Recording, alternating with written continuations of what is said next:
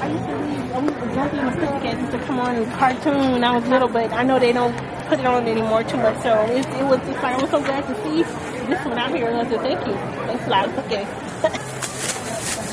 I still read them. Hi, George. me and my sister, uh, Debbie and Taylor. So I guess you're going to be at the uh, San Diego Comic Con.